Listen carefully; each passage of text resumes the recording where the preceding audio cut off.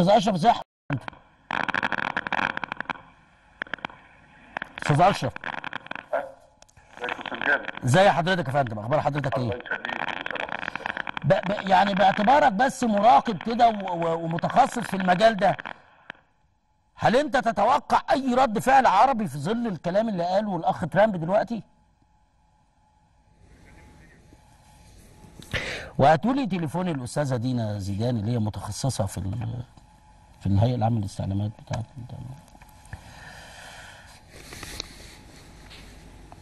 جرايد بكره إعلان وفاة العرب. لبيك يا زهرة المدائن. ترامب يقتل فرص السلام ويفتح ابواب جهنم. جهنم. فين يا راجل أبواب جهنم؟ فين يا راجل؟ فين أبواب جهنم اللي هيفتحها ترامب؟ فين؟ مفيش أبواب جهنم ولا حاجة. تلاقي العالمين إعلان وفاة العرب ده الدستور. بكرة. وهتلاقوا برضو آه، آه، حاجات خاصة ب انتفاضة تحذيرات من خطة ترامب لنقل السفاره الأمريكية للقدس لبيك يا زهره المدائن. بس حكاية يفتح ابواب جهنم دي مش مش داخلالي من مين اللي يفتح ابواب جهنم يا عمنا؟ إزيك يا أستاذ أشرف؟ أهلا وسهلا. إزيك يا أستاذ جابر؟ الله يخليك يا فندم. يعني باعتبارك قريب قوي من هذا الملف وليك صولات وجولات فيه. هل أنت تتوقع أي رد فعل عربي تجاه ما قاله ترامب أو القرار بتاع ترامب؟ يعني اولا أنا أعتقد انه رد الفعل الذي يجب أن يتخذ الآن يكون رد دبلوماسي سياسي على مستوى العالم خطورة خطوة ترامب ليس بانه اعترف بالقدس عاصمة لاسرائيل أو إنه نقل السفارة إليها. ولكن الخطورة أن يعني يتخذ هذا مثالا يحتذى وتقوم الدول الأخرى الواحدة تلو الاخرى بفعل نفس الشيء. وبالتالي تتحول القدس إلى عاصمة معترف بها لاسرائيل مم. ولذلك يجب التحرك فورا آه، يعني في آه، المنظمات الدولية لإعادة التأكيد على إن القدس محتلة ولا يجب اعتبارها تحت أي ظرف من الظروف.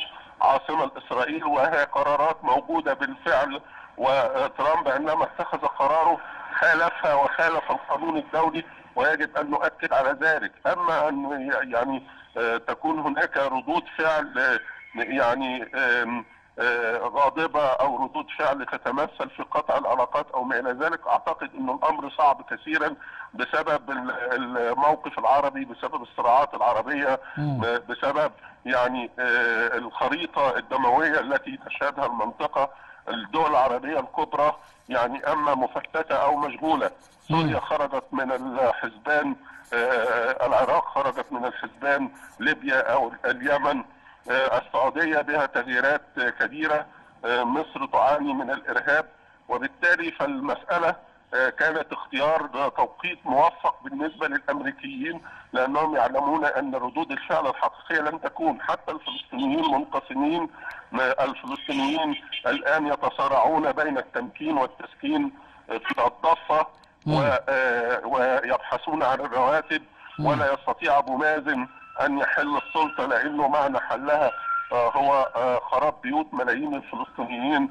آه، حيث أن السلطة كانت هي التي توفر لهم الرواتب والوظائف والأمن وما إلى ذلك ولم تكن هناك خطة بقى بديلة وبالتالي لابد من التحرك بجد وبقوة وتحجيم العلاقات مع الولايات المتحدة والتحرك على المستوى الدولي من أجل استصدار آه، قرار آه، يعني يدين أي تحريك لأي سفاره ما هي بوليفيا بوليفيا يا أستاذ أشرف طلبت بعقد اجتماع عاجل لمجلس الأمن عشان المسائل بوليفيا. لا يعني دع- دعنا لا نكون يعني لا نبالغ في هذه القضية لأنه أيضا الأردن آه، طلبت أمس آه، عقد اجتماع عاجل وزراء الخارجية العرب آه، يومي السبت والأحد يتم بناء عليه اتخاذ اتخاذ موقف عاجل. حتى اللحظات الأخيرة كان هناك احتمال أن يؤجل آه، يعني ترامب قراره لأنه آه، وزير خارجيته كان يرفض ووزير دفاعه كان يرفض وأجهزة المخابرات كانت ترفض ولكن الرجل بعناده آه، وبتصميمه على تنفيذ كل ما قاله في حملته الانتخابية نفذ التهديد. علاوة على إنه يعني اليوم أكد حقيقة واضحة وهي أن الكلام عن صفقة قرن وعن سلام كلام غير حقيقي وكل ما يقال غير حقيقي وهو قال في كلماته أنه آه، يعني آه، آه، فشل في التوصل إلى تسويه وبالتالي كل ما كنا نسمعه في الماضي كان محاولة فقط لتشجيعه على أن يتقدم لصلح سلام لذلك عين كوشنر صهره وعين جرينبلات صديقه يعني مسؤولين عن الملف ومبعوثين في المنطقة. الآن هو يعلن فشله ويعني اتخذ قرار أو خطوة يعني سيخسر فيها كثيرا ولن يكون أبدا وسيطا نزيها في أي فترة مقبلة. بشكرك أستاذ أشرف شكر آه، جزيل.